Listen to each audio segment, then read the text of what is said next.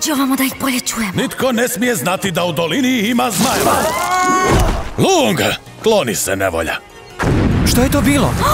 Ljudi! Uvijek sam to govorio, oni su najgori. Što će napraviti kad nas nađu? Rub neba. A, to je raj za zmajeve. Mogli bi otići tamo i biti na sigurnom. A kako namjeravaš doći do tamo? Pa imam krila, zar ne? Inspirirano knjigom Kornelije Funke. Onda, genijalče, gdje počinjemo? Bok. Ti si on! Da. Penji se, jahaču zmaja.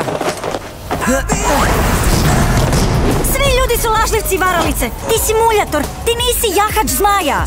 Hm. Jesu to bile? Moje hlače, da. Recite im tko ste? Volim golf. I jesti zmajeve. Strašno glavi. Upravo sam vidio sočnog srebrnog zmaja. Osjećam glad za srebrnim zmajem. Možda da odemo? Ne zna dvojicu kako ričemo.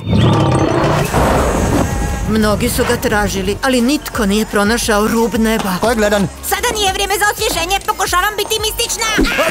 Imamo dogovoreni brak. Ti si puno više nego što misliš. Prati svoje srce i istina će doći. Spreman? Spreman.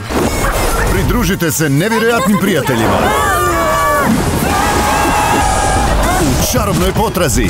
Ajde da vas vidim. Bila si tigar.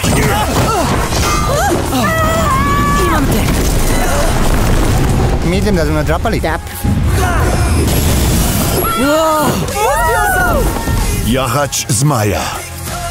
Nego, šta je sljedeći partneru? Hoćemo spasti još koji tu, ha? Uskoro